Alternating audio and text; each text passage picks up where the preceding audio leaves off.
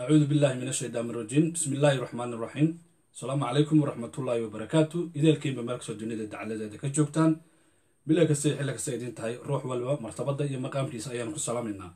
Waa mar kale iyo barnaamijyadeeni taxanaha ead kala socoteen iro t v. Barnaamijkeena maanta aynu halkan idinkaga soo tabin doono waa qeybtii labaad ee aanu horay aad halkan uga dheehateen ee aanu ugu magac darnay waayaruug waayaruug waxaa inoogu marti ah markii horena inoogu marti ahaa qoraa sare maxamed baashe sheekh xasan oo run ahaantii dal iyo dadyaqaan ah wax badan oo horena halkan ka hadlay. Mudane maxamed baashe waxaan maanta ka wareysan doonaa saddex qodob oo aada muhiim u ah kuwaasi oo dhex miranayo maskaxda iyo maanka bulshada soomaaliyeed gaar ahaan kuwa ku dhaqan gobollada waqooyi ama somalilan mudane maxamed baashe waan ku soo dhaweynayaa. Aad baad u mahadsan tahay faysal abroore waan dhowahay aadna waxaan kaaga mahadnaqayaa barnaamijkaagan luxdan su'aalaha iyaguna luxdani ama awoodda lihi ay mar walba hormuudka u yihiin ee aad ku soo faqayso taariikho iyo waxyaabo dadka soomaalidu gaar ahaan dadka ku nool somalilan ama gobollada waqooyigu ay ku kala duwan yihiin amaba ay kala qabaan waa hagaag waxa weeyaan xabaal iyo ninkii loo kala dareer. Mudane su'aasheeda koowaad barnaamijka bafurka oga dhigaya waxa weeyaan maxay ahayd ujeeddadii loo yagleelay ama loo abuuray dhaqdhaqaaqii wadaniga soomaaliyeed ee loo soo gaabiyo s n m? Kusoo dhawow. Inta aanan u gelin jawaabta su'aashaasi waxaan jeclaan lahaa inaan dhegaystayaasha iyo adigaba kula qaybsamo in sanad ay ka soo wareegtay inta uu xabsiga ama edega yar uu ku jiro coldoon ama ninka la yidhaahdo cabdimaalik coldoon oo hargeysa ku xidhan oo maanta ay sanad u buuxsantay. Ninkaasoo lagu xidhay ama lagu haysto keliya wuxuu afka ka yidhi ee aanu cidna xabad u soo qaadan cidna dilin cidna xoola ka dhicin. Ee ra'yigiisa iyo wuxuu yidhi lagu hayo oo lagu xukumay oo lagu haysto oo dadkii mar lala xukumay iyo intii mar lala xidhayba ee hadalka lagu haystay dhammidood la sii daayey isna sheelka gaar loogula hadhay taasoo dad badani ay leeyihiin waxa ina coldoon loola hadhay caabuq nagu beesh. Taasi waa intaa oo ninkaa samafalaha ahaa khalad kasta oo qofku ka dhaca inkastaba ha la ekaade ee haddana hadday wuxuu hadal yihiin in lagu xidhaa kulliba dee xeerkana kuma taalo dadnimadana way ka baxsan tahay. Mar haddaanu cidna aanu aanu dee dilin cidna xoola ka dhicin taas oo aan jeclay inaan kaga faaidaysto barnaamijkan maadaama sanad laga joogo toddobiyo tobankii bishii afraad labadii kun iyo sideed iyo tobankii waxaan sagaal iyo tobankii ninkaa xabsiga loo taxaabay. Haddii aan u soo gundadego su'aasha barnaamijkaagan aad ku iba furtay ururkii dhaqdhaqaaqa wadaniga soomaaliyeed ee esrim waxaa loo aasaasay wuxuu ahaa falcelin ka dhalatay cadaadiskii iyo cabburintii taliskii maxamed siyaad barre siyaasaddiisu ku salaysnayd ee uu dadka ku hayay. Su'aasha intaasay ku soo koobaysaa waa falcelin ka dhalatay maamul xumadii cadaalad darradii cabburintii iyo cadaadintii taliskii maxamed siyaad barre. Waa hagaag isla qodobka koowaad eean mudane wax kaa weydiinayaa mar haddaad tiri cadaadis ka yimid taliskii dowladdii soomaaliyeed ee qarankii markaa jiray ayay ka dhalatay. Waxaa loo tirinayaa jamhaddii wadaniga ama dhaqdhaqaaqii snm inay qayb ka ahayd dadka luxudka dhigay qarannimadii iyo haykalkii ummadnimada soomaaliyeed. Maxaad taa kaga jawaabaysaa sidaa anigu ma qabo.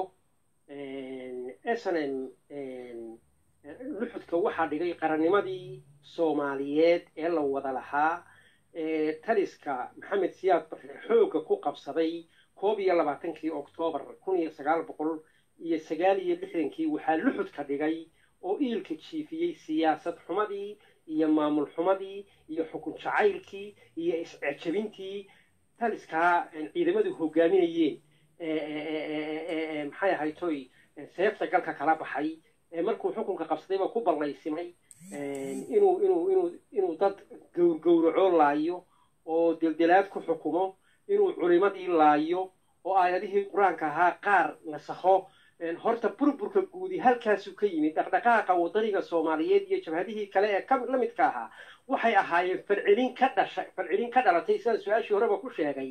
Taliskaa iyo maamul xumadiisii iyo cadaalad darradiisii iyo carshoog dhahdii iyo quurka goyntii iyo dildelaadii aan maxkamadda iyo xeerka lahayn samadiidow dabin baa kuu xidhan lagugu dili doono.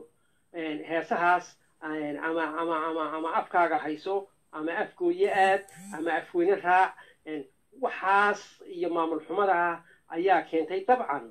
Jabhaduhuna hadday ahaayeen falcelintii waxaa ka dhalatay waxay ku guuldaraysteen inay markii taliskaasi dhacay inay meesha keenaan wax ka wax dhaama kaa waxay keeneen wax ka sii liita xaqiiqadu waa intaa mudane waxaa jira su'aalo aada u tiro badan oo sida dhibaca roobka inoogu soo dhacayo. In baynu ka soo qaadanaynaa. Snm waxaa buddigeeda lahaa beesha dhexe. Beesha dhexe waxay qayb ka ahayd haykalkii qarannimadii soomaaliyeed meelaha iyo mansabka iyo maqaamka ugu sarreeyo. Waxay marka loo ego gobollada waqooyi ay la siiyey mudnaan gooni ah. Waxay lahaayeen dekado iyo madaaro waaweyn oo iyaga gooni ugu xiran waxay lahaayeen dhulbeereed aada u ballaaran. Waxay ahaayeen dadka soomaaliyeed marka maqaamka ama miisaaniyadda ama mansabka markii la waxay kaga jireen meel aada u sarrayso. Arrimaha noocaas ah maynan idiin muuqan ee aad qarannimada iyo heekelnimada iyo dowladnimada aada hormuudka uga haydeen halka aad ka doorbideen inaad garka dhulka ugu xidhaan awooddii iyo dowladnimadii iyo qarannimadii tan iyo maalinka maanta ah godkii ay jamadaha ku rideen dib looga soo saari kari laaya horta faysal afonow haddaynu maanta barbar dhigno maalinta. Qiimayntu way inaga lumaysaa.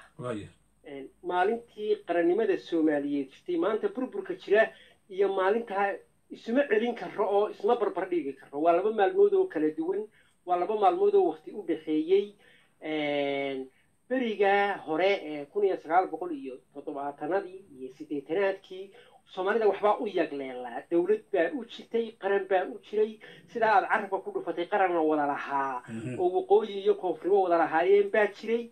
Ciidamadii qalabka siday xukunka afgembiga kula wareegay koob iyo labaatankii oktoobar kun iyo sagaal boqol iyo sagaal iyo lixdankii cidii ay ka inqilaabeen ra'isul wasaare dowladda ay inqilaabeen waxaa ra'isul wasaare ka ahaa reer waqooyi. At same time islamarkaana dowladdii kacaanka waxay inqilaabaysay ciidamadii qalabka siday oo shan iyo labaatan ka koobnaa waxay sagaal ka midii waxay ahaayeen reer waqooyi sida aad carabka ku dhufatay waxaa kacaankaasi runtii maaha waqooyiga oo qura waddankao dhan meelaha qaar horumar baa ka jiray fara badan sida warshadihii yaryaraa waxbarashadii af soomaaligii la qoray reer waqooyiguna kuwaas unbay wax ku lahaayeen oo dowladday lahaayeen. Oo wixii wanaag waqooyi ka jiray cidna lagama baryayna waxay xaq u lahaayeen buu ahaa. Haddii frankafuroto loo furo iyo haddii si kale wax loo taro iyo haddii waddooyin loo sameeyo intuba xaq bay u lahaayeen oo oo wax maanta la duusiyi kara ma aha. Laakiin dadka qaar waxaa ka maqan iyadoo caynkaa ahayd cadaadiskii haddana gaarka ahaa ee gudaha ka jiray ku saabsanaa xorriyadda xorriyaadka qofka sida maxay ahaytoy inuu qofku iscabiro inuu isagu iskaa wax u qabsado waxyaabaha anigu dadkii hargeysa ku barbaaray baan ahaa dadkii beeshaa dhexe ka mid ah baan ahaa dadkii hargeysa joogay baan ahaa markii inamadii ufo la xidhxidhayey iyo markii mudaharaadyadu ka dhacayeen hargeysa dhagaxa la tuurayey waxyaalihii na saaray. Ee hargeysa naga saaray ee waxaa barwaaqada lagu sheegayo noo diideen aan u arki weynen waxaa ka mid ahaa waxaa ka mid ahaa cadaadis iyo caburin aan aan ku dilo ma bixi kartid ma haddi kartid. Habeenkii suuqa toddobada habeenimo sida digaaga ka hooyo maxay ahayd toy isma cabiri kartid. Hantidaada hantidaadu waa xalaal haddii ciidamadu qaataan. Haddii lagu qabto in lagu dili karo ama lagu xidi karo waxba kumay waxba kumay waxba kumay jabnayn. Waa tii waa tii waa tii jeelashu buuxsameen mandheere buuxsantay. Labaatan jirow iyo loo qaadayay dadka hadday noqoto odayaashii ugu waaweynaayo muxtarimka ahaa hadday noqoto ardaydii hadday noqoto siyaasiyiintii hadday noqoto macallimiintii iyo dhakhaatiirtii bar wax kasta oo jiray oo wanaag ahaa waxaa suuliyey oo meesha ka saaray xorriyad la'aantaas oo aanay waqooyigaaba dee gobollo kale la qabin gobollaba markaa la gumaadayay oo la leynayay oo xabadi ku dhacaysay sida kuwa bartamaha soomaaliya garoowe iyo maxay ahayto iyo boosaaso iyo qaybo kamida maxay ahayto gaalkacyo oo xabadi ka dhacaysay. Marka waxaasoo wanaagahoo la odhan karaa way jireen dee dowladnimo ayaa meesha taallo maantana isma barbar dhigi karo dowladdaa jirtay beriga iyo dowlad la'aanta. Soddonkii sane u dambaysay jirtay haddii aynu ku qiimayno wax soddonkii sane dowladnimada la dowladnimada la ahaa oo aynu barbar dhigno soddonka sannadood ee aan dowladda lalahayn waa waa dood kale. Laakiin waqooyi runtii waxaa waxaa berigii dambe wixii ka bilaabmay sideetanaadkii waxaa waxaa waxaa waxaa waxaa bilaabmay cadaadis aan kala sooc lahayn oo fool xun oo barwaaqo kastoo la haystay sumaynayay. Oo dadku maaha bariis baan ku siinayaaye ma haddi kartid saan u fekerayo u feker suuliga maxay ahayd markaan markaan anigu ku fasaxo tag hawada markaan anigu doono qaado. Waxaasoo dhami wax meesha yaalla bay ahaayeenoo xaqiiqo ah oo haddaynu qodob qodob iyo iyo faahfaahin badan ugu gallo. Aniga iga qofnimadaa wixii anoo aan labaatanka gaalin hargeysa igaga dhacayay ee xarig ahaa. Xarig baan galay haddii abahaydmayo markii xariggii layga soo daayay waxaan galay inaanan habeenkii aanan suuqa ku raagi karin toddobada habeennimo haddii laygu qabto in lay xirayo in toddobadii cishoba maalin aan iska soo xaadiriyo dhabar jebinta inaanan magaalada hargeysa ka bixi karin anigoo haysan warqadda dhaqdhaqaaqa oo aanan hooyaday oo duca joogta soo eegi karahayn warqaddaa la'aanteed marka waxyaabaha dadka kiciyee keenayay in aysanan aasaasantaa waxyaabahaasa ka mid ah mudane maxamed saa horey u sheegay su'aalaha ku qotoma arrimaha islam waa kuwa aada u tiro badan qaybaheen dambeenu dhigan doonaa laakiin su'aal baan rabaa inaan weli isla qodobkan aan kaa weydiiyo. Ummadda soomaaliyeed waxay dhaqan u lahayd magaalo iyo miyiba haddii laysqabto in arrimaha qaarkood xalkooga laga raadiyo halka ay xalku yaallo ama mataqaan bulshada ay talada ama teelada ka go-do. Jamhadda snm xadka oyna u tallowday cadowgii soo jireenka ahaa ee soomaaliyeed ee la sahiyey kuwaasi oo markii dambe u sahlay in ay feenfeentaan qarannimada iyo soomaalinimada. Tan iyo maalinka maantaana waxaa jira arrimo iyo utumo iyo xasarado aan weli laga garaabin oo ay ka tageen diihaalkii ay jamhadaha soomaaliya badeen qaybna ay ka tahay somalilan arrintaa maxaad kaga jawaabaysaa yo horta soomaalidu waxay ku maahmaahdaa nin nin nin nin ciilkii cadaab ka duulay nooma fududayn inaanu xadka goyno oo etoobiya tagno. Laakiin mahmaahdaasaa ku qotonta waxaa halkaana geeyey jabhaddii ugu horreysay ee soomaaliyeed ee s s f markii hore la baxday jabhadda badbaadinta soomaaliyeed markii dambana s s d f markii jabhado kale ku biireen ururo kale ku biireen la baxday s s d f ayaa horta ugu horreysay oo halkaa tagtay. Waxaanay noqotay waddo furantay oo annaguna markii kulliba snm lagu aasaasay magaaladan london lagaga dhawaaqay sacuudigana ay ka soo bilaabantay. Halka markii laysla eegay halka saldhigiyo laga heli karo waddankiina u dhow taliskii markaa jirayna dagaal lagaga qaadi karaa. Waxay ahayd halkaa ay jabhaddii horena fadhiday ee ay saldhigyada ku lahayd. Ragciilkii cadaab ka dowray bay ahayde wax un la jeclaaday oo la caashaqay. May ahayn. Cadow iyo cadow la'aanteedba dadka culayskii siyaasiga ahaa ee saaraa ee shujuubka ahaa ee xoogga ahaa ee cagajuglaynta ahaa ee silicdilka ahaa ee nolol duugga ahaa ayaa khasbay oo sanduleeyey oo halkaa geeyey oo jideeyey in la qaato qori oo wax la dilo oo laga maarmi kari lahaa. Haddii dhaqankaa aad sheegtay ee soomaalida ee haddii laysqabto wadahadalku ka fogaan jiray meesha muu olina kani wuxuu ahaa talis markii horena xoog ku yimi ee aan baryo ku iman oo aan iraadada iraadada dadka ku iman ee qori caaradii ku yimi. Markii dambena qori caaradii buu wax ku xukumay. Markuu wax ku laayeyna xanuunkii iyo xanaftii halkii loola kici kariyey baa loola kacay. Waa hagaag. Mudane su'aashan waan soo gabagabeynaynaa run ahaantii dadyoga imika ku soo biiray barnaamijkeena waa yaruug waxaanu marti maanta inoogu ah mudane maxamed baashe sheekh xasan mudane waxay waaye iyo gelinba soo joogtaba waxaa jiray gabagabadii xilligii sagaashamiyadii inuu dhacay macaahado ama heshiis loogu magac daray heshiiskii qaaxo oo ka dhacay gudaha soomaalida galbeed heshiiskaasi waxaa ku qotomay arrimo aada u tiro badan oo sideed qodob ah oo dokumentiyadooda halkaan aan ku hayno. Waxa aad sheegtay dhibaatada iyo diyaalka iyo rafaadka dowladda aad ka tabanayseen in aad dagaalkaasi buddig u ahaa. Laakiin macaahadooyinka ama macaahadadii qaaxo waxaa ku qotoma sideed qodob oo lagula soo guryo noqday dadkii dalka iyo dadka wada lahaa dhulka wada lahaa ee soomaaliyeed. Sideeddaa qodob haddaynu mid mid isu dul taagno barnaamijkeenna kama dhammayn kari mayno. Haddaan marka soo goobo macaahadadaasi ama heshiiskaasi qaaxo maxaad ka ogeyd adigu maxaad se kala socotaa? Anigu way afkaaga way afkaaga heshiiskaa qaaxo iyo qodobadaasi. Mana arag mana ogi waxaan ogahay anigu oo aan hayaa dastuurkii s n m iyo kun iyo sagaal boqol iyo sagaashankii magaalada baldigubadle markii waddanka la soo gelayey ee lagu soo noqonayey ee dagaalkii ugu dambeeyey ee kama dambaysta ahayd lagu soo qaadayey wixii lagu heshiiyey baan hayaa. Wixii ay ku heshiiyeen guurtii isaaq iyo hoggaankii s n m ee madaxda ahaa golaha fulinta guddida dhexe golaha dhexe iyo guddida joogtada ah qodobadii ay ku heshiiyeen baan anigu ogahay oo aan hayaa oo dad looga qaateen oo xaaji cabdikariim waraabe allaa yarxame ee raggii goobjoog ahaa uu ka mid ahaa afkiisana aan ka qaaday. Kow laba laba arrimood bay ahayd. Oo guurtii markaa la aasaasay oo guurtii isaaq la magac baxday oo dhowr iyo afartan xubnood ahayd waxa ay magaalada balligubadle ku showreen oo ku shireen markii abaabulka la waday dalkii waa gelaynaa dagaalkama dambaynta baynu qaadaynaa waxa weeyaan maanta waa shul iyo shal. Ama innagaa guulaysanayna oo adkaanayna ama taliska maxamed siyaad barre wuu inaga adkaanayaa labada goorba maxaa inoo meel yaalla oo aynu ku tashanaa oo aynu isku ogaanaa ilan bari iyo galbeed baa laga dagaalgelayaa. Haddii laynaga adkaado maxaynu isku ogaanaa ayaynu ku wada soconnaa? Haddii aynu si adkaano maxaynu isku ogaanaa oo ku wada soconnaa? Nimankii halkaa joogay arrinta haddii laynaga guulaysto waxay go'aan ku gaadheen in isaaq iyo reer waqooyi laba huwan bay ahaayeen huwan galbeed iyo huwan bari.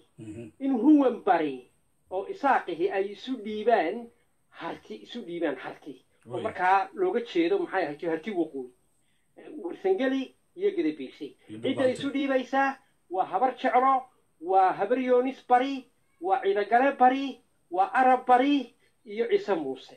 Oo oo maxamed ciise ah. Ha isu dhiibaan iyo intii soo raacday ha isu dhiibaan huwantoodii bari ee harti waqooyi inta kale ee saaqi soo hadhee galbeedna ha isu dhiibeen huwantoodii galbeed ee samaroon iyo markaasi ciise. Sidii ay doonayaan markaa harti waqooyi iyo samaroon iyo ciise ha ka yeelaan. Maxay ahayd huwantoodii taariikhiga ahayd ee hore qabliga ahayd saasaa gacanta la isu saaray haddaynu guulaysanaa timi haddaynu guulaysanno waxaa markii arrintii la rurugay odayaashii guurtii isaaqee shan iyo afartanka ahaa ee balligubadda fadhiyay isku raaceen. In haddii aynu adkaano aynaan aynu ilowno daaraheennii cadcaddaa ee laynaga burburiyey. Ubadkeennii iyo inimadeennii baarka caddaa ee laynaga laayey hablihii laynaga laayey wixii hanti dad iyo dunyo inaga lumay inaynu ilowno oo dadkaa imikaba huwanta ah ee dhinacyada inaga xiga ee aynu isu dhiibi lahayn haddii layna jebiyo aynu iyaynaan ka caarsan ee aynu ee aynu ee aynu saamaxno oo la heshiino. Go'aankii ay gaadheen qarankay ku duugeen odayaashii waxay ula tageen nimankii siyaasiyiinta ahaa ee hoggaanka islam markaa gacanta ku hayay iyana way la qaateen. Waa tii keentay taasi inaan waqooyi ka dhicin wixii koonfur ka dhacay markii maxamed siyaad barre la ee xitaa waxyaalihii marka laga reebo waxyaaba yaryar oo meelaha qaar ka dhacdhacay oo dad dad aan xilkas ahayn oo s n m ka mid ahaa ama taageerayaashoodii ka mid ahaa ay bariga iyo galbeedkaba ka geysteen marka laga reebo haddana waa tii keentay in aan aan lagu talax tegin oo dagaallo sii baaha oo sokeeye oo aarsi iyo fal iyo falcelinii aanay waqooyiga ku baahin sidii ka dhacday. Koonfurta waa hagaag. Mudane qaybta barnaamijkan qodobkeena hore waana soo gunaanadaynaa su'aasha aan qodobkan ku soo axalaya waxa weeye mabaadi'da ama nidaamka s n m ma waxaa ku jiray in soomaali la kala gooyo oo la sameeyo wax la yidhaahdo somalilan oo gooni u ah beesha isaaq bataatan maya bataatan taa aniga ayaa caddaynaya marraba kumana caddayn distoorkooda kuma jirin qaab dhismeedkooda xisbiyeed ama maamul ee jabhaddana kuma jirin qaab dhismeedka ciidameedna kuma jirin dastuurka snm qodobka lixaad wuxuu qorayey ururka dhaqdhaqaaqa wadaniga soomaaliyeed. Waxa uu xoraynayaa idil ahaan dhulka soomaaliya waxaanu ilaalinayaa midnimada iyo wadajirka soomaaliya. Qaab dhismeedka ururka dhaqdhaqaaqa wadaniga soomaaliyeed waxa uu saldhigyo gudban oo safan ku lahaa min laga bilaabo waqooyiga ilaa bartamaha ilaa koonfurta waddankii soomaaliya. Wuxuu ku lahaa saldhigyo waaweyn oo madaxdiisa qaar ku dhinteen mustaxiil oo ku waajahan gobolka hiiraan oo cabdilqaadir koosaar cabdi ilaahay naxariistii jannaha ka waraabiye oo ahaa guddoomiyihii saddexaad ee ururkii dhaqdhaqaaqa wadaniga soomaaliyeed mustaxiil baa lagu dilay oo uu ku dhintay isagoo ciidamadii snm halkaa fadhiyey. Khilaaf soo dhex galay markaa xallintooda halkaa u jooga. Snm waxa ay saldhigyo waaweyn oo dagaalo badani ka dhaceen ay ku lahayd gobollada bahay bakool iyo gedow. Saldhigyada saldhigii weynaaye khaalid bin waliid la odhan jiray fadhiyada ku lahaa luuq buur aaminow suufti iyo haddii eebahay idankeeda leeyahay doolow oo ciidamo badani fadhiyeen oo taliska maxamed siyaad bare culays weyn halkaa kaga hayay. Qaab dhismeedka snm guddida fulinta golaha dhexe iyo guddida joogtada ah mar walba waxaa ku jiray ragaan isaaq ahayn oo ama reer waqooyiya oo samaroon leh oo dhulbahanta leh oo warsageli leh dhinaca kalena reer koonfureed leh oo hawiye leh oo daarood leh oo dir leh. Waxaa mararka qaarkood guddoomiye ku-xigeenka ururka dhaqdhaqaaqa wadaniga soomaaliyeed ahaa. Ilaahay naxariistii jannaha ka waraabiya cali maxamed cosoble cali wardiigley oo ahaa siyaasi rugcadaaya oo ka soo jeeda magaalada muqdisho. Waxaa ku jiray oo golaha fulinta ka mid ahaa cali hagarhay oo ka mid ahaa wasiiradii dowladdii rayadka ahayd ee kun iyo sagaal boqol iyo lixdankii u qaabilsanaa arrimaha warfaafinta waxaa ku jiray colonel sheekh yarow oo saldhigyada maxay ahayto ninkii aasaasay ahaa koonfurta.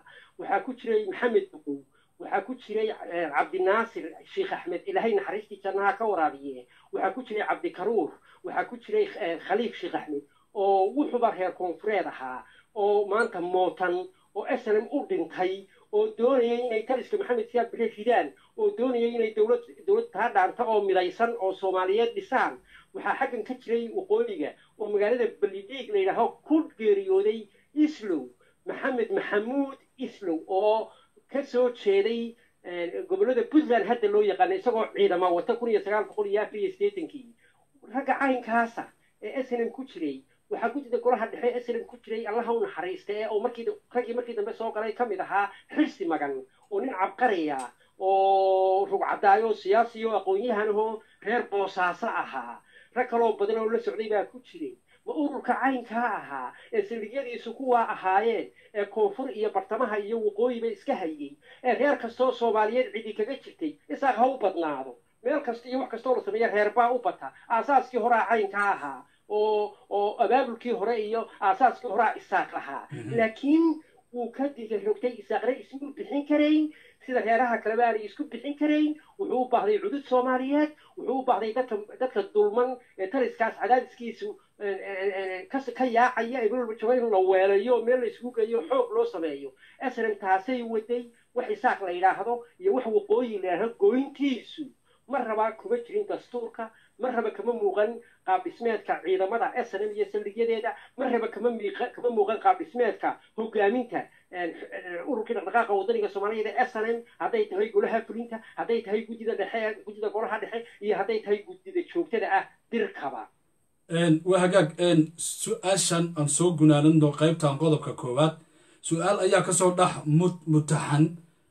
In aan dastuurka ku jirin in aan la kala goyn karin qarannimada soomaaliyeed su'aasha waxay tahay yaa bilaabay in la yidhaahdo somalilan oo beesha dhexe ah ooy hormuud ka tahay ayaa la goynayaa xaggee qodobkaasi loo cuskaday yaa ka mas'uul ahaa yaase ilaa ilaa maalinka maanta ah haykalka ama midida daabkeeda u hayo kala goynta ummadda soomaaliyeed. Kusoo dhawow adoo soo gunaanadaya.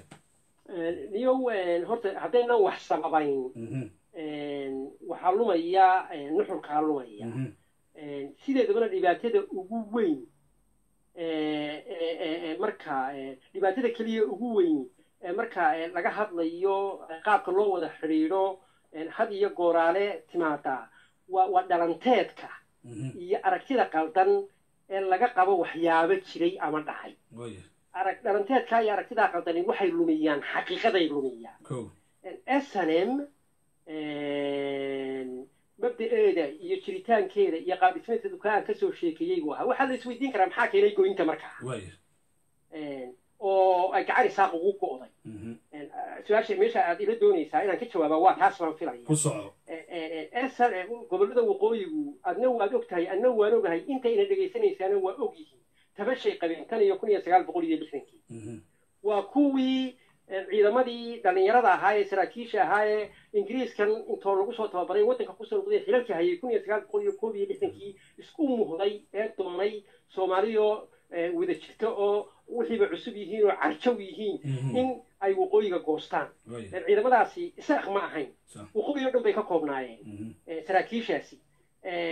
Kun iyo sagaal boqol iyo isla eh, dabayaaqadii sanadka afsidii dastuurka laga qaadayey waa kuwii reer waqooyigu dhabarka u sii jeediyey isaaq ma ahayne reer waqooyi oo dhan bay ahaayeen iyaguna haddii abaha idmayo tabashooyinku kuwa halkaa ka soo bilaabmay bay ahaayeen gabayada iyo suugaanta lahaa Mhm. fara badan Mhm. haddaynan taariikh kala haynin gabayadii baynu haynaa dhacdooyinkii cabdilaahi suldaan xalleef cali sugulle waynu haynaa hididiyo hidi hadhuu maran baan sitaa iyo iyo maalintii dabku qiiqayan isticmaalkii isdiinay nimankii danta sheegtay ee dariiqooda ka leexanay dacwadooda la- dacwadooda dhammaystanay dhulkan caawa la joogo dulligii isticmaalkiiya karaar daaqad ka saaray ee juddadaanu haynay dowlad soo gashay ma yihiine danteennaa laba diidaye dabuubaanu maqlaynay dareen baan ka qabnaayo dugsigii baarlamaanka iyo dekadii xamar baale berberadaadku ha qaado dooniyayaanay ku weecan labadaa duqaydii baarlamaanka ay labadaa kala daayo oo yaan la daymo la'aan waa cabdilaahi sultaan timacate cid ka soomaalisanayd ma jirin cid ka soomaali jeclayd ma jirin cid ka midnimo jeclayd ma jirin laakiin dareenkii dadku xukumayey dareenkii dadku uu cabirayey oo soo bandhigayey waa koob iyo lixdankii markii ra'iisul wasaarihii ugu ugu soomaaliyeed uu yimaado gobollada waqooyi gaar ahaan magaalada gabiley ee uu ku soo dhaweynayey markaasay ahayd dareen bay ahayd dareen in la akhriyaabay ahayd. Markii saa u soo socotay eh, mar walba dareenkaasi isagoo jira. Markii culayskii maxamed siyaad bare eh, uu si gaara u hareeyey eh, gobollada waqooyi kun iyo sagaal boqol iyo koob iyo siddeetankii labiyo siddeetankii markii aslam lagu dhawaaqay mudaharaadyaduna ka dhaceen hargeysa iyo burco. Mhm. En, iyana waxay ahayd casharo kale oo dadka dareenkooda. en- en, wax ka bedelay markii aslam ay waddanka qabatay eh, eh, eh, maxay ahayd toy iyada oo hargeysa iyo burco iyo berbera iyo ay ka wada talinayso snm in xamar manifesto kaga dhawaaqdo dowladan snm lagala tashan oo aanay waxba ka ogeyn oo ay idaacadda b b c da uun ka maqlaan. Mhm. En, iyada qudheedu waa sabab weyn oo oo keentay waxyaalihii soo dedejiyey in waqooyigu go'o oo dadkii halkaa joogay ay ka cadhoodeen oo runtii wax laga cadhoodana ahayd. Jabhad soo halgantay toban sano halgamaysay waddankeedii gacanta ku haysa xukumaysa joogta in haddii wada jir iyo midnimo la doonayo niman manifesto la baxay. Mhm. magaalada muqdisho intay kaga dhawaaqaan Mhm. dowlad aanay totally asran lagala tashan. Iyo jabadihii kale heshiiska kula jireenba in xamar lagaga dhawaaqo oo deedna cumar cate qaaliboon snm shaqo ku lahayn. En- en- en- en- halkaa ra'iisul wasaare laga dhigo. Dadka waxaa markiiba dareenkii hore soo qaaday wixii ilaa lixdankii soo jiitamayaan waxba la iskaga tirin lixdankii. Mhm. iyaga oo ku- lix iyo labaatankii juun xoroobay inay kowdii julaay midnimo la galeen aan shuruud lahayn. In laga qadiyey hay'adihii sare ee awood qaybsiga ra'iisul wasaarihii madaxweynihii janaladii ciidamada maxkamad yacni dadkii caynkaa ahaa ee og in diyaaradii hargeysa ka kacaysay ay hargeysa garaacday. Mhm. in madaafiicdii goobtu inta hargeysa lagu soo rido sidaan kala socay hargeysa lagu garaacay waxaasoo dhan baa soo kacay. Larkaan iyo dacartaasaa soo kacday. Waxyaabaha go'itaanka keenay kuwaasaa ugu waaweyn. Ma aha wax been dhexe wadatay wax isaaq watay xaqiiqooyinkaasay ku salaysnayd waa hagaag mudane maxamed waa arrin aan laga geeyoon runtii wakti badanna u baahan. Si barnaamijkeenaan u soo koobkoobno waxaan u gelayaa qodobka labaad wakti badan iyo dagaallo badan iyo dagaallo ehel ahoo markii la go'ay kadib shirkii burca kadib shirkii boorama saddex iyo sagaashankii kadib dagaallo beesha dhexa gudahooda soo dhex maray oo aada loogu riiqmay in magaalooyinkii la kala yani dadku dabka kala qaadan waayaan berbere iyo burca iyo shiikh iyo hargeysa. Wax badan kadib geelabo waxay heer joogto dhismihii somalilan markii la soo gaaray waxaan doonayaa inaan qodobkan markaa ku xuso waxaa abuurantay somalilan afka lagaga dhawaaqayo in la wada leeyahay laakiin wejigeeda dhabta uu yahay mid dad gaara leeyihiin. Qodobkaa ku soo dhawow. Waa xaqiiqo waa xaqiiqo dhaba kun iyo sagaal boqol iyo koob iyo sagaashankii sideed iyo tobankii may markii burco lagaga dhawaaqay somalilan reer waqooyigu way u dhammaayeen. Isaaq baa joogay orhaanay ka maqnayn samaroon iyo ciise oo cidi aanay ka maqnayn baa joogay. Harti waqooyi oo aanay cidi ka maqnayn baa joogay. Warsangeli iyo dhulbahante cuqaashoodii odayaashoodii ugu caansanaa siyaasiyiintoodii ugu waaweynaa. Waxaa la doonayay wax la wada leeyahay in la yaqleelo. Waa laysku dayey burco waa tii lagu heshiiyey taa. Markii dambena boorame waa tii haykalkii dowladeed oo ergooyinkii ka soo wada qayb galay ceelaayo. Oo halka somalilan ugu bariyeysa ilaa iyo lowyacaddo ergooyinku ka yimaadeen in laga soo qayb galay lagu kala maqnayn haykalka dowladeed lagu dhistay maxamed xaaji ibraahim cigaal lagu soo doortay. Wax kastoo la qabanayo iyo hawl kastoo la qabanayana qalad lagama waayo qaladka waxaan gelin baa la yidhaahdaa cid qurax waa cidda meel iska fadhida ee aan waxba qaban. Laakiin haddii qofku uu u dhaqaaqo inuu hawl qabto dabcan waa kii khaladgala marka arrin qaran ay tahayna arrin ummadeed iyo bulsho markay tahayna dee waad garan kartaa weliba saboola weliba aqoonteedu liidato weliba dowladnimadu ay raagbarad ku tahay ay carjow ku tahay ay curdin ku tahay waad garan kartaa khaladaadka ka soo bixi karaa khaladaad badan baa ka soo baxay oo kuwii keenay in beesha dhexe lafteedu ay isgumaado oo ay burciya hargeysa birta iskaga asasho ayaa ka mid ahaa khaladaad badan baa dhacay waxay soo guurtaba somalilan laguma khasaarin gooni isutaageedii oo amni baa sugmay maxay ahaytoy min halka u shishaysa ilaa halka u inta badan inta badan nabad lagu wada noolaaday laysneef ogolaaday meelaha qaar mar walba xasaradii way ka jirtay gudaha beesha dhexe iyo iyo darafyadaba laakiin waxaa jiray in in in intii koonfuri ay qasnayday qaska iyo qalalaasaha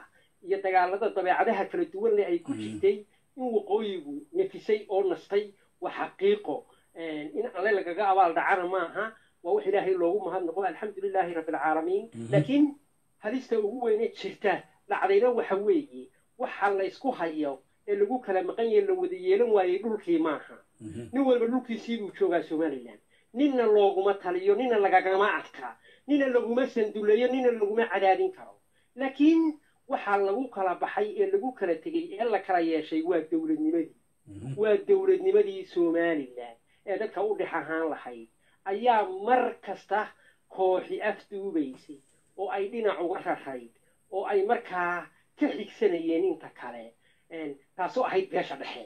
Beesha dhexe mar walba way isku gadaamaysay beelaha kale suxulladay ku riixaysay markay maamul dowladeed iyo awood qaybsi ay timaado walow gobonimada meesha ku jirta ay tahay in dahriyaana kahay barnaamij kalena waynu ku xusnay uu madaxweyne ka noqdo oo tartamo oo axmed maxamed maxamuud sinaayo oo guddoomiyihii ugu waktiga dheeraa srm ahaa intuu la tartamay uu dhulka jiidu ka adkaaday oo uu soo buxuu madaxweyne ku noqday oo uu toddoba sano iyo ka badan hogaaminayay somalilan waa guulahay ka mid tahay somalilan iyo quruxda somalilan iyadoo taasi jirto haddana mar walba tabashada iyo iyo iyo iyo iyo awood qaybsi la'aantu iyo saami qaybsi la'aantu mid meesha yaalla buu ahaa maantaanu ugu fool xun yahay oo ugu liitaa intii ay somalilan soo jirtay.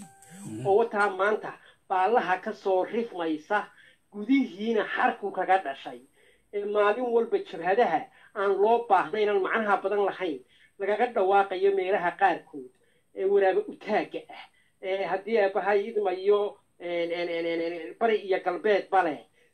Marka khaladaad waaweyn baa dhacay oo laga maarmi lahaa dowladnimadii iyo hay'adaheedii ayaa waxaa laga dhigay mashaariic kooxo ku adeegtaan. Hadba cidda talada talada daabka haysa ay ay ay ay awrkooda ku kacsato ay inta kale ka fogeyso iskaga ay ka xigsato ay qaraabakiil iyo musuq maasuq iyo haddii aabahay idmayo eexo iyo wax la mid a wixii dowladdii qaran ee ummaddu wada lahayd ee soomaaliyeed inqilaab kasta ha ku timaadee haddana waa la wada yeeshay. Markaa ay ku burburtay ayay iyaguna markaa si ka fool xun weliba iyagoona adeegyo bixin iyagoo aan dadka wax ku soo celin ay markaa ku takrifaleen ku jawrfaleen oo ay awrkooda ku kacsadeen ta khatarta ah ee maantana somaliland bayrahda u tahay ee halista ah ee in xoogga la saaray oo laga hadlaa u baahan tahay waa taa mudane maxamed aan kaa dhex galo waxaa jiro dad badan oo ka soo jeedo darafyada galbeed iyo bariba. Beelaha darafyada u bixiseen arti waqooyi samaroon iyo ciise. Waxaa jiro aragti ah somaliland iyo snm inay mid qura tahay. Adigu ma qabtaa taa? Maya.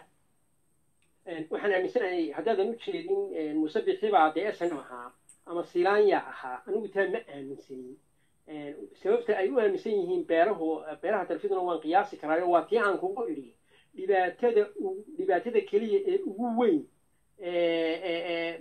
marka la eego qaabka wada xidhiirka iyo waxa la kala aaminsan yahay waa daranteedka aragtida qaldan ee la kala qabo. Taasoo loo baahan yahay in la bedelo snm ma jirto.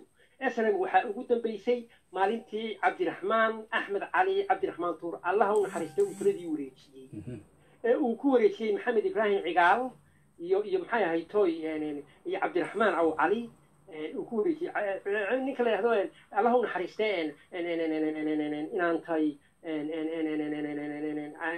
maxay snm shaqo kuma lahayn shuqul kuma lahayn xidhiir lama lahayn kama mid ahayn maalintaasay snm dastuurkeedana waxaa ku qoraa maalinta aynu haddaynu waddanka qabanno laba sano markaynu xilka hayno aan ku wareejino shacabka shacabku dowladda soo dhistaan dowlad shacab baa la soo dhisay oo dadkii wakiilada ka ahaa shacabku ay boraba ku soo dhiseen iyo ergooyinka ahaa wixii ka dambeeyeyna daahir riyaale oo isna aan snm meellaba ka soo gelin oo aan shaqo ku lahayn oo lagu tirinayo kuwii ka soo horjeeday snm inuu ahaa ayaa ayaa madaxweyne noqday oo waddanka ka talinayay snm maanta ma noolaa maaha isir nool waa wax dhintay waa baas.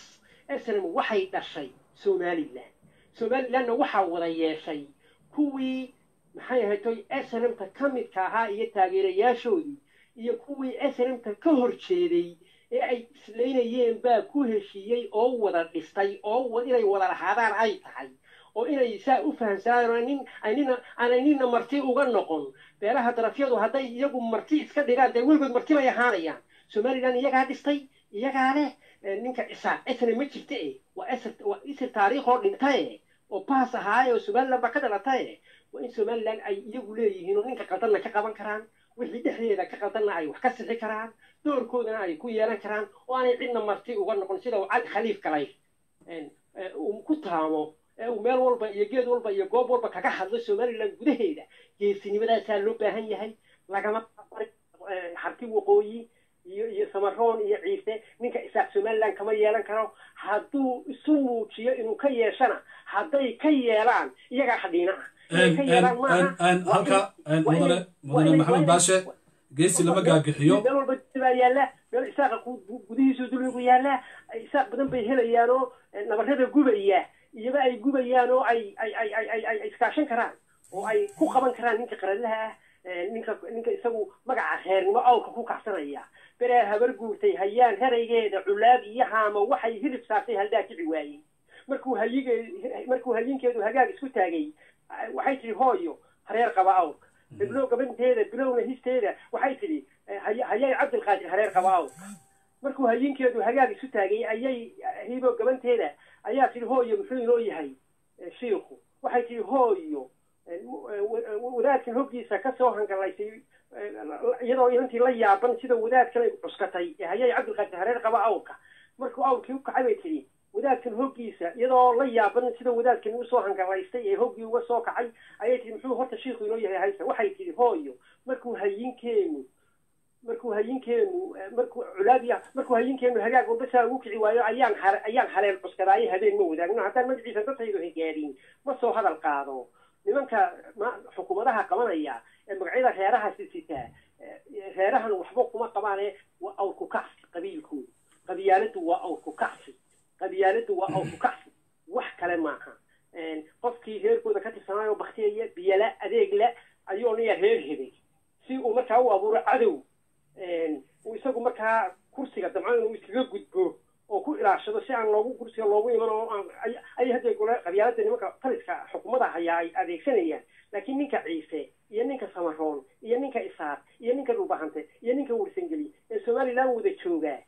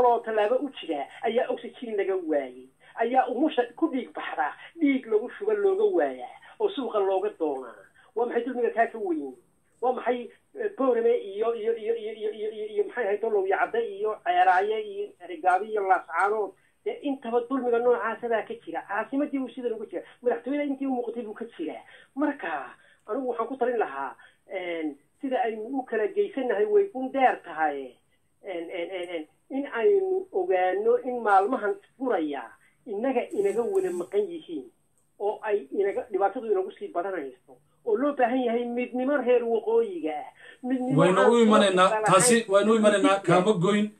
Mudane maxamed taa waan u imanaynaa kaama goyn. Geesi lama gaagixiyo su'aalo aad ciiddaa ka badananu hayno barnaamijkeena dambe aynu dhiganaynaa.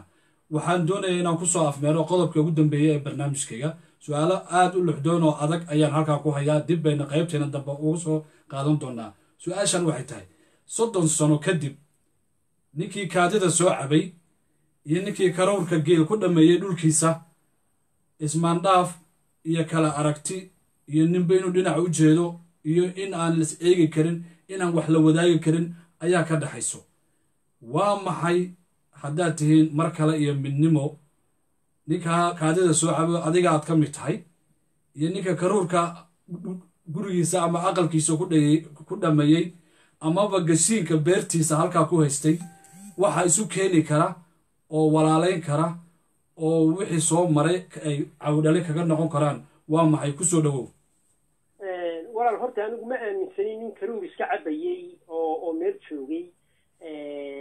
Kan la leeyahay kaadi buu soo cabayey wuu soo halgamayo markuu qofku soo halgamay ee uu dagaal ku jiro kaadi iyo iyo baktiba wuu oo dee baktigaaba lainoo xalaaleeyey marka aynu wax kala weyno xaalad kaadida lagu cabaano way jirtay oo snm dhexdeeda way ka jirtay oo aniga xogagaalahoo og. Markii buuraha la galay ee laga dagaalamayey afar iyo sideetankii rag baa kaadidooda cabay oo been maaha rag buu baktigu u xalaalahaa rag baa injir iyo maxay ahaytay wax walba ku xayreen. Kuwa gudaha jooga ee dowladdii maxamed siyaad barre taageersanaana karuur ma cabaynin karuur ma cabaynin iyaga qudhoodu xaarkooday cunayeen oo waxba may haysan oo way dulmanaayeen oo adeegyo bulsheed may haysan oo naf leh oo waxba gaara kuma qabin. Taliska maxamed siyaad barre taliska maxamed siyaad barre oo maxamed siyaad barre loo aaneeyo reerkooda mareexaan baan waxba ku qabin. Gedaa qaawanayd oo aan wada lahayn oo aan dhakhtar lahayn oo aan waxba lahayn. Maxamed siyaad barre wuxuu ka soo qortay dhowr ciidam xoogaa ciidamo ahoo uu qasrigiisa ku ilaashado oo uu ku danaysanayo. Saasay ahayd. Ninka ka foge kale ee boorama jooga ama laascaanoo joogana waxba kuma qabine mid reeraha magacooda sitabaa xamar ku leegsanayey oo hantidii qaranka maxay ahayd intuu filooyin ka galay daaqadaha furtay oo u shidnaa maxay ahayd marawaxadi u shidnay oo caanaha ku cabbi jiray kumbo. Markaa dadkani yaan la hafrin karuurna ma haysan waxbana ma haysan. Ilaa maantay qatan yihiin markaasay qatanaayeen dowladihii rayadka ahaabay qatanaayeen mar walba way wada dulmanaayeen. Ka burcad jooga ka laascaanoo jooga ka cerigaabo jooga ka hargeysa jooga ka jooga ka boorame jooga iyo kala maxay ahayd jooga laasqoray iyo iyo iyo sayla. Way dulmanaayeen. Saas ila kuwa kutuna way u dulmanaayeen. Oo ka garowe joogaa dulmanaa ka boosaaso jooga ka jooga gaalkacyo ka hiiraan jooga ka marka jooga ka jawhar jooga ka jooga maxay ahaytoy buu aale ka jooga maxay ahaytoy kismaayo iyo baydhabo iyo bay iyo bakool ayaa dulmanaa mar walba imikana dulman marka anigu waxaan ku soo xoorinayaa mar kale midnimo haddaanu nahay. Waxaanu doonaynaa inaanu ra'yi iyo aragti cusub abuuro oo ka horjeeda waxyaabaha aan ka hadlayno. Oo ka horjeeda arrimaha si guud laga dhigayo ee aan hoos loogu daadegayn ee xaqiiqada ka wada fog ee dhalanteedka iyo aragtida qaldan ku wada salaysan ee mututuulka iyo beenta ku wada salaysan aan runta ahayn. Waxaanu doonaynaa aragtida aanu abuurayno inaanu kow horta aanu samayno cilmi baadhis iyo daraaso dhaba oo waxyaabaha ka tibaaxa bixinaysa iyo sida dadku dhalanteedka uu kala aaminsan yahay iyo sida ay haddana u wada dulman yihiin u wada cagaagan yihiin u wada darxumaysan yihiin u wada gaajaysan yihiin u wada waddada la' yihiin u wada ay yihiin. At same time rooba maalin laguma dhisina waxaanu doonaynaa shacabka reer waqooyiga ah ama somaliland inaanu wax badan baa dhex yaalo ay kala tabanayaan oo mututuulka iyo dhalanteedkaa badidooda ku salaysan yihiin inaanu iyaga gogol ka dhaxaysino aan lagu shaashoon gogol aan la kala lahayn gogol aan lagu caranyoon gogol salka la wada dhigi karo oo ay ku arrinsadaan oo ay ku wada hadlaan oo ay isku calool xaadaan oo ay haddii ay bahay idankeeda leeyahay kaga wada hadlaan waayahooda iyo duruufahooda wada cusleeyey ee ay la ciirciirayaan oo ay saldhig u tahay midnimo soomaaliyeed oo markaa la raadiyo berito marka iyagu ay saldhigaane talo iyo qorshe wada socdaan oo ku wada qanacsan yihiin oo hogaamin aqoonaysani hor socoto oo haddii ay bahay idmayo lala xisaabtami karo oo ficilkiiyo falaadkooda lala xisaabtami karo oo la eegi karo oo daah furan. Oo markaa dhinaca koonfureed ee ay walaalaha yihiin ee aanay kala maarmin ee ay shalayna wax wada lahaayeen maantana weli waxa badani ka wada dhexeeyaan ee nolol ah ee dhaqaale ah ee dhaqana ee dhul ah ee maxay ahayto ay wada leeyihiin maanta isku wada ay isugu tagaan. Ganacsigoodaa isu taga carruurtoodaa isku tagta guurkoodaa isu taga dhulkoodaa isku xidhan oo aan xuduud kala lahayn. Waxaa isku wada xidhan dhaqankooda afkooda diintooda garashadooda waxbaa ka wada caraysiiya waxna way ka wada farxiyaan dadka soomaaliyeed. Inanta halkaa maraysa ee wajeer ka timi ama jigjiga ka timi ama jabuuti ama hargeysa ama muqdisho markay laafiyooto ee ay sinta bidix ka laafiyooto la odhan maayo inantaasi waa gobol hebel iyo waa reer hebel ee waxaa la odhanayaa waa inan soomaaliyeed soomaaliyeed. Hadhowto marka lala kulme ee lala sheekaysta lala xidhiidho ee la to-do ayuunbaa la odhan karaa lahjadeeda. Ama dira duwan in la yahdo wallahi malaajigay ka timi ama jabuuti ama hargeysa ama muqdisho ama saa laakiin wakaa soomaalinimadu dadka walaalaha ah in ay midnimo ka wada hadlaan wixii dhex maray ee foosha xumaa iyagu aanay intooda badan mas'uulka ka ahaayeen ee xukuumadihii jiray. Mar walba mas'uuliyaddeeda ay qaadanayaan. Xukuumadahana ogoobey waa la wada lahaa. Ee xukuumad reer lahaa iyo xukuumad gaar loo lahaa ma jirin. Mid walba mas'uuliyiin isku dhadhow oo ka timi gobollada iyo qabaa'ilka daraf min daraf ayaa dawlad kasta xukumayay oo talada oomiyada daabka haystay iyagaa abuuray. Dadkan waa laysu bahalageliyey waxba dhexdooda ma marin. Reer koonfureed reer waqooyi wuxu dhimay ma jiro. Daarood isaaq wuxu dhimay ma jiro. Isaaq samaroon wuxu dhimay ma jiro. Isaaq dhubahante wuxu dhimay ma jiro. Samaroon isaaq wuxu dhintay ma jiro. Waxaasoo dhan waa wax laga dhexaysiiyey waa colaado la abuuray oo awrar lagu kacsanayo kala duwan iyo dano iyo qarad iyo muraado. Inaanu markaa waqooyiyo isku sidkan oo haliya nirigteeda oo uriya diirkeeda oo isneef ogol oo aan kala shakisnayn oo aan kala cuqdadaysnayn oo reer waqooyinimo ku dhaadanaya oo isku jecel inay walaalahood koonfureedna ka rajeeyaan.